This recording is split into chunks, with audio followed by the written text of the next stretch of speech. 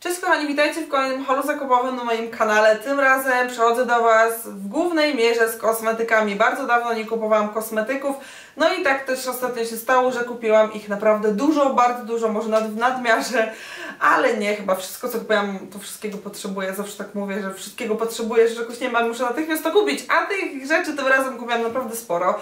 Także jeżeli lubicie takie filmy, to Was bardzo gorąco zapraszam.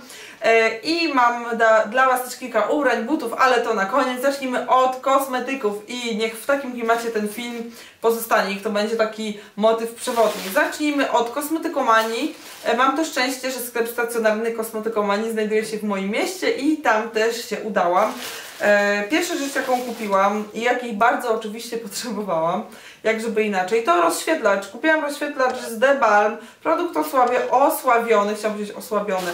Produkt osławiony, już niemalże kultowy. Yy, I to jest Merylu i już Wam pokażę jak on wygląda, może jeszcze ktoś nie wie. On wygląda tak i ma multum zastosowań, możemy go używać zamiast cienia do powiek, możemy go używać w kąciki oczu, oczywiście ma zastosowanie jak to rozświetlacz, jako rozświetlacz, czyli nad kość policzkową możemy sobie troszeczkę rozjaśnić tę część tutaj nad ustami, także naprawdę yy, opinie o tym produkcie są bardzo pozytywne, więc pomyślałam, że spróbuję, mimo że nie jest on super tani ale wiem też, że jest niesamowicie wydajny.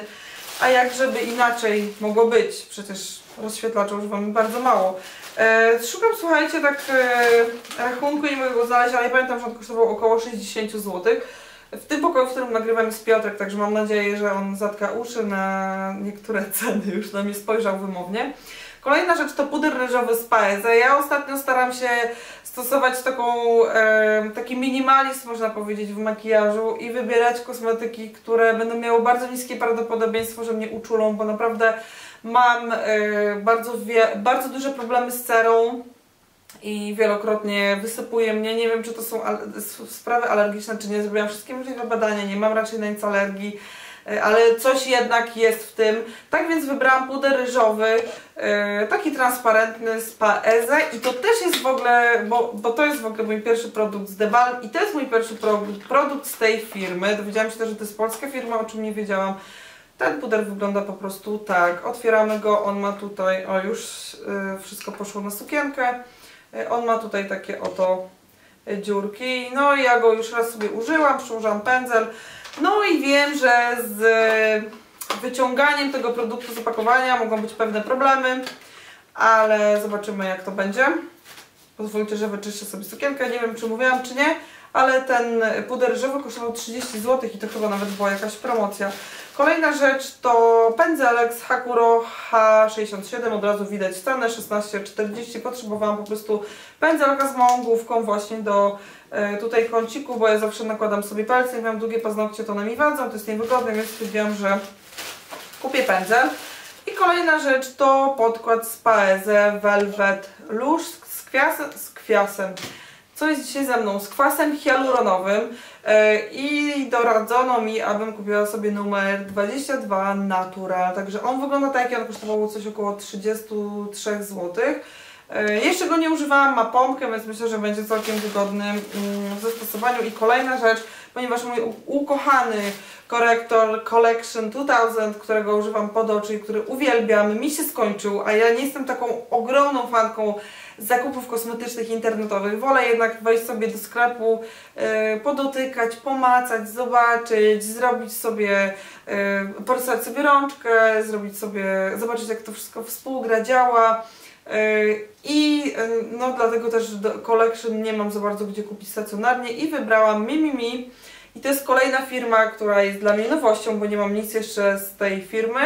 I to jest korektor, który ja posiadam w numerze 206B, czy nie, numerze 6, to jest numer 6.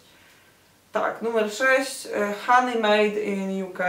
Wygląda tak, został on mi doradzony przez panią, która w tym sklepie pracuje, kosmetykomania e, i e, on kosztował 30 kilka złotych, 32 czy 33. I kolejna rzecz to są Janki, woski, e, Garden Sweet Pea, e, Beach Flowers i Vanilla Honey z tej serii Simply Home. Te były chyba po 7 zł, a ten po 8 albo po 6, po 7, już pamiętam. Jakoś tak to było. No dobra, także jeżeli chodzi o kosmetykomanię, to wszystko odkładamy na tę stronę i lecimy dalej, lecimy dalej. Jeżeli jesteśmy już przy produktach, to ostatnio byłam na bardzo fajnym zabiegu, takim e, napinającym skórę z kawiorem i poznałam markę Pikut. Nie wiem, czy dobrze to czytam. To są e, kosmetyki szwedzkie, całkowicie eko, naturalne. Bardzo ostatnio mm, jest głośno o, tych, e, o tej marce, o tych kosmetykach wśród polskich celebrytek i pomyślałam sobie, że ja będę jak polska celebrytka i zobaczę, czy faktycznie coś w tych kosmetykach jest i kupiłam sobie taką wodę z aloesem Hydrating Water i ona ma mi pomóc nawilżyć skórę, ukoić wszelkie właśnie te podrażnienia, te moje krostki. Yy, także używamy tej wody dwa razy po demakijażu, po użyciu płynu micelarnego i ona kosztowała 103 zł czy, czy coś takiego. Jestem bardzo ciekawa tego produktu. Mam nadzieję, że się u mnie sprawdzi, bo przyznam Wam, że pielęgnacja mojej buzi ostatnio, e, nie wiem, no nie jestem jakoś z niej szalenie zadowolona. E, kolejne zakupy to są z natury, trzy pak wacików, coś zupełnie podstawowego, zadychę. Mm, płatki pod oczy z labiotyki, trzy płatki za 10 zł, także jestem bardzo ciekawa ich działania, bardzo lubię te firmy. E, kiedyś bywało tak, że dostawałam od nich różne produkty do testowania i zawsze byłam naprawdę zadowolona, tak więc sobie kupiłam te oto płatki. Kolejna rzecz to jest y, cień z, słuchajcie, on był chyba z Catrice i on, już Wam pokazuję, to jest taki, taki złoty cień wypiekany, mineralny i on był przeceniony z 15 zł, z 16 zł na 12,79, tak było na tak. Eee, kupiłam też nowy odcień castinga z L'Oreal, tym razem 801 satynowy blond, trochę ciemniejszy niż e, ten mój 1010, którego używam po prostu od zawsze. Pomyślałam sobie, że trochę przyciemnię włosy na jesień, chociaż znając życie to ta różnica będzie bardzo, bardzo mała i gdybym Wam nie powiedziała, to byście nawet nie zauważyli.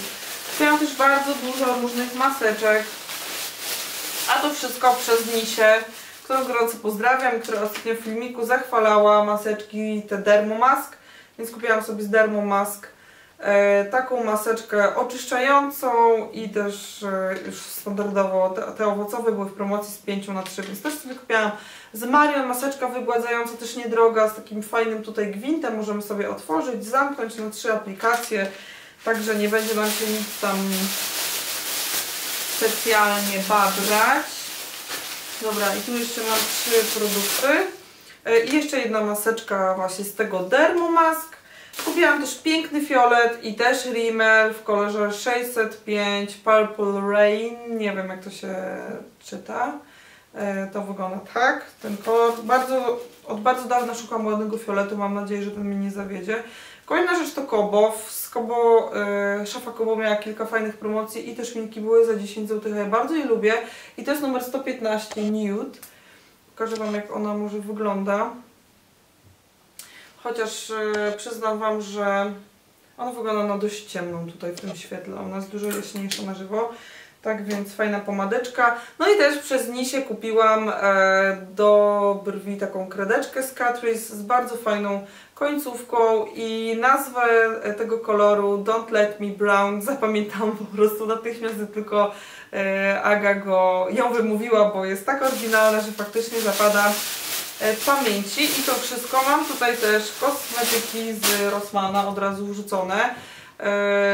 3-minutowa e, e, Miracles Aussie, która jest mi niezbędna, ponieważ kupiłam ostatnio sobie nowe szampony z Balea i chyba źle dobrałam jakby typ szamponu do rodzaju moich włosów, bo moje włosy są takie porowate, suche. Ja mam ten szampon i odżywkę kofeinowe i mimo, że same produkty są fajne, uwielbiam ich konsystencję, zapach, skład, to jednak no totalny w ogóle jak można powiedzieć, że bubel, no bo bubel, bo nie trafiłam. Tak więc muszę teraz nadrobić tą odżywką Ossi. To nie jest niestety ekoprodukt, ale ona faktycznie ją kupuję raz na jakiś czas, kiedy moje włosy są w nie najlepszym stanie, a teraz Ossi znowu jest w promocji w Rossmanie i nie pamiętam ile kosztowała, ale może ją kupić troszkę taniej.